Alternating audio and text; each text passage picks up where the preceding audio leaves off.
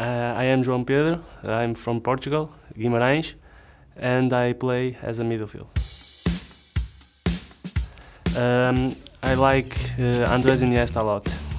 I think the, the Iniesta doesn't have knees because he changed directions like I don't know.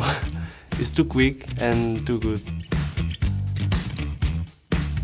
Um, in Portugal we call uh, 300, so translated to uh, English 300. Pasta. I, I just put water and pasta it's done. Poppies. For sure. I like yellow. Uh, yellow? You like Je- jello? Jello, yeah, jello. now In-N-Out.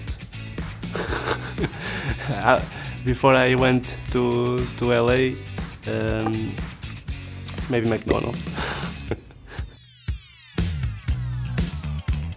Dance move, the chicken move. You don't know the chicken move?